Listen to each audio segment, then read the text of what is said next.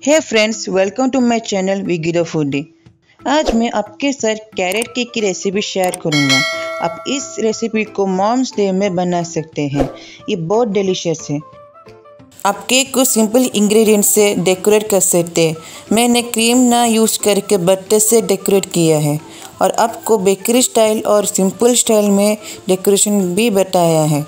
So let's get started सबसे पहले हम हाफ़ कप मिल्क में एक टीस्पून विनेगर मिक्स करके साइड में रख देंगे।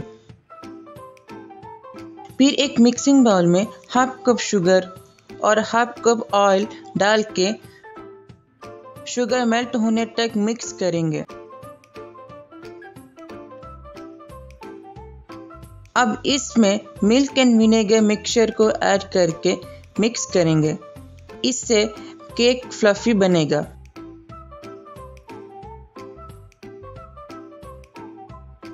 इसके बाद मैंने एक छन्नी में वन एंड हाफ़ कप मैदा एक teaspoon baking powder half teaspoon baking soda और एक टीस्पून दालचीनी पाउडर को डाल के छान लिया है।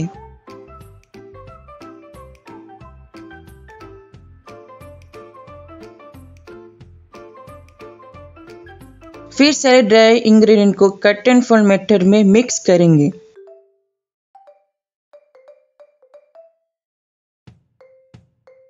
अगर केक बैटर ठीक हो जाएगा, थोड़ा मिल्क ऐड करके मिक्स कर दीजिए। इसके बाद एक टीस्पून वनीला एसेंस को ऐड करें।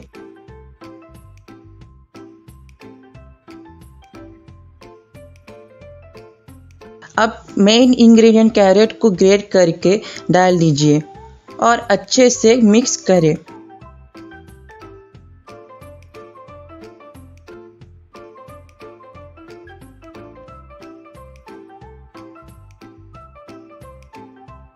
अब केक टिन को ऑयल से ग्रीस करके मैदा को डस्ट करें।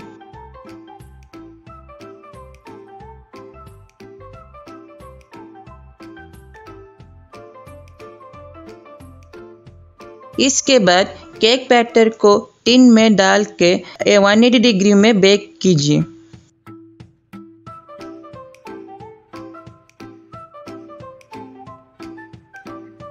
अब केक को बटर फ्रोस्टिंग से डेकोरेट करने के लिए रूम टेम्परेचर में रखा हुआ हाफ़ कप बटर लेंगे। उसमें वन कप शुगर पाउडर डाल के मिक्स करेंगे। इसके बाद वनीला एसेंस डाल दे।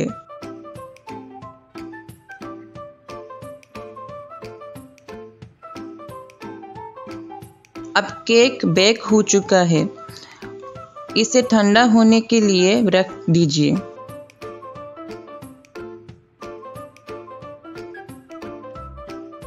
अब स्पॉन्ज के टॉप लेयर को निकाल देंगे, अच्छे से कट करके।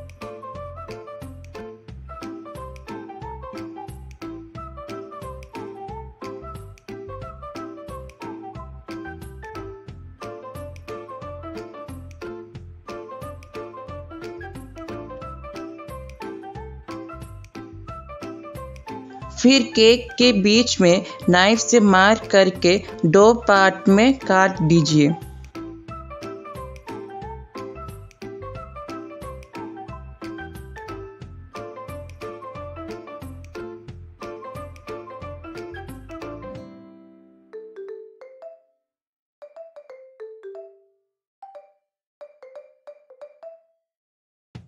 अब ऊपर लेयर को नीचे रख के और बटर क्रीम को इवनली स्प्रेड करें।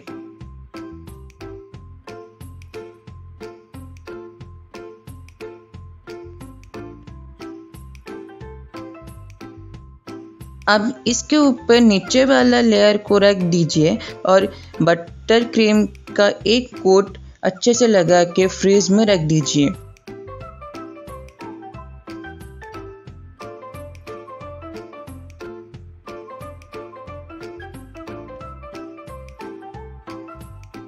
यह ठंडा होने के बाद फाइनल लेयर के लिए बटर क्रीम को फिर से स्प्रेड करें।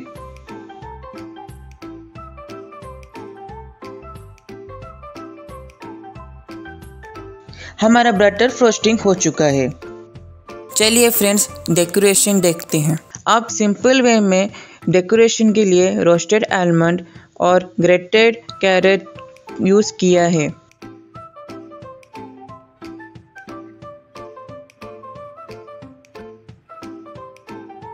सेकेंड स्टाइल डेकोरेशन में केक सरफेस के ऊपर बैटर पेपर से कोन बना के, उसमें मेटल चॉकलेट डाल के टू लाइन्स ड्रॉ करके और साइड में ग्रेटेड कैरेट स्प्रेड करें।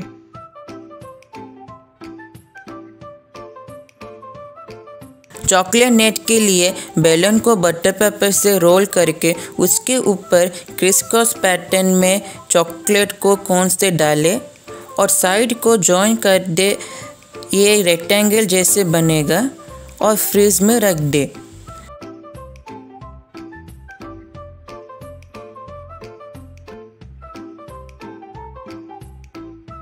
फ़ूड डिश हमारा केक रेडी है